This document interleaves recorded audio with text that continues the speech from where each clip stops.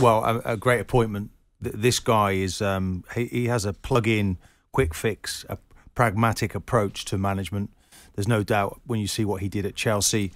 Uh, I think is it five titles, flip flopping between Italian league and won three with Juventus. It, it went back to Inter Milan, so we know he's you know very accomplished, knows his tactics. He loves the detail of the game. Yeah. Um, so those players will be in no doubt of their roles, responsibility. It's difficult though. Time spent on the training pitch won't be much of that. Um, you know, game another game coming up on on Sunday. Um, but no, he'll play a back three. Jim, he likes his wing backs to, to push on. There's different roles for the midfield players. He likes them to sort of cover the territory behind the wing backs, which is a little bit unusual. But he might be looking at that defence, Martin, thinking, aye, aye, there's a bit of work to be done here. Well, there is. There is work to be done, uh, but he's the man to do that. Um, it was astonishing in his first season at Chelsea. Where it was the first year Pep Guardiola went in there. It was the only year that Pep Guardiola has been potless, and he got to work much quicker because I think his the sort of philosophy where Pep is more of feeling and uh, and what you create. His is pr- pragmatic. People know exactly where they need to be, and I expect Tottenham, worryingly as an ex uh, Arsenal player, I expect them to start to travel up the table. They weren't that far behind uh, the rest anyway after winning the first first three games of the season, but clearly he's got a lot of work to do there. Yeah, and that tells you that, that last night, you know, certainly tells you that. He's got a lot of work to do, hasn't he?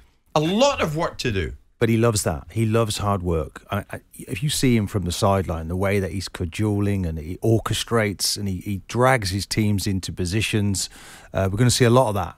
I mean, another fantastic manager, by the way. I have to say, the quality of the managers in the Premier League now is as, as high as we've ever seen it. Um, and Spurs now have, have finally made uh, a really, truly great appointment. I think once they lost Pochettino, they went backwards a little bit. Yeah. Um, now they can strike forward, but he'll need to be supported. But for now, it's about working with what he's got, and he's probably as good a manager as any in able to do that. Are you somewhat, as an Arsenal man through and through, are you somewhat concerned about what Conte may or may not do in the fullness of time? Yeah, I think he's a manager. start winning I think he's a manager who knows his stuff. Uh, he, he certainly knows his game, uh, and it, it really impressed me when he was here last. He's gone on to win things, even with a very ordinary Italy team. Um, he found a way to be successful. So no, he's definitely number one. Yeah.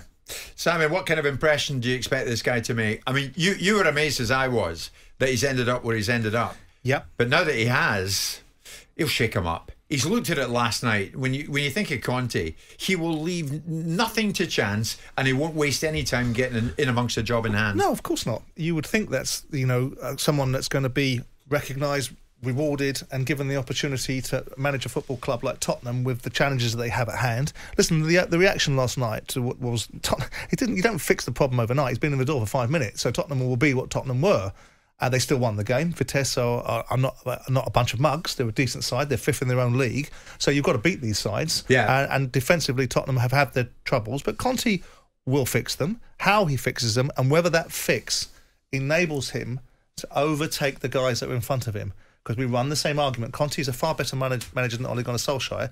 Ole Gunnar Solskjaer is given unlimited resource. Is he going to be given the same resource? Because he's going to have two challenges. The first challenge he'll overcome. He is an elite manager. He will be able to go toe to toe at the management table with Tuchel, with Klopp, with Guardiola. But is he going to be given the second part of the component, which he must have, which is the ingredients to make the recipe that will be able to compete with those guys? Because one thing is bridging the gap at the table, the other thing is bridging the management gap in terms of players. Yeah. Guardiola has had a billion pounds of spend over five years to build a team. So when you look at that, if Conte is given a billion pounds, I would wager you that he will rattle the cages of Man City. But we, it's difficult to see Daniel hmm. Levy, you know, becoming a chameleon. Tottenham Hotspur's way of running this football club has always been let's be pragmatic about our finances. Let's make sure that at the centre of it we do things properly.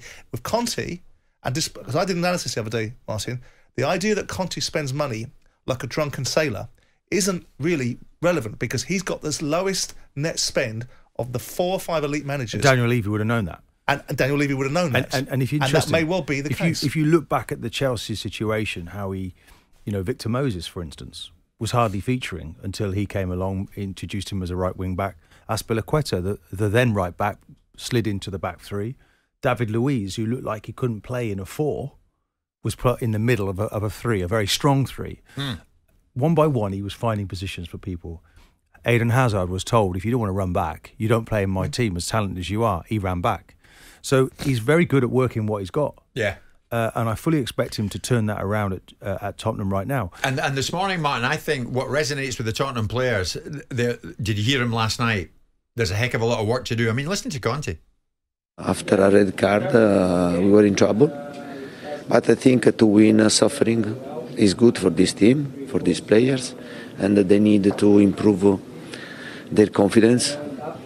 I think they need to to have to to work a lot uh, the problem is that uh, we have to find the time uh, to work because uh, in two days we have to play, and then there is international break.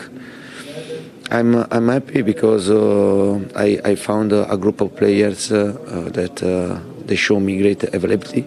Tonight they wanted to win, and uh, for this reason uh, we, we we won. But for sure we have to improve. Yeah, the problem he's got, Martin, is he's got next to no time to implement the change that he wants to make. Because he'll want to make plenty of change. Everywhere he's gone, you know, we, we were just talking back to the, you know, we have to look at somebody to see what they've achieved in the past, to see what they might achieve in the future. And when he was the Chelsea manager, he made a quick change against an Arsenal team that I think was winning 3 0. He changed it at half time, not for that game, but for the next 13 games that he won thereafter. Yeah. So this guy is a serial winner. He knows what he wants. Um, he, you know, obviously he's got to work through that personnel. They play Everton at the weekend. Uh, which is not going to be that easy.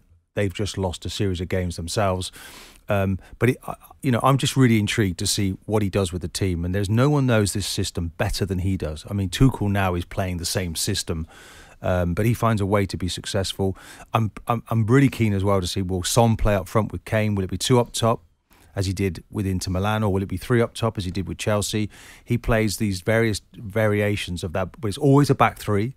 And Yeah. the back three are very stubborn. They don't really move out Yeah. into wide positions. I played this system at the back end of my well, when when Bruce Rioch was the manager at, at Arsenal, he elected to play a back three.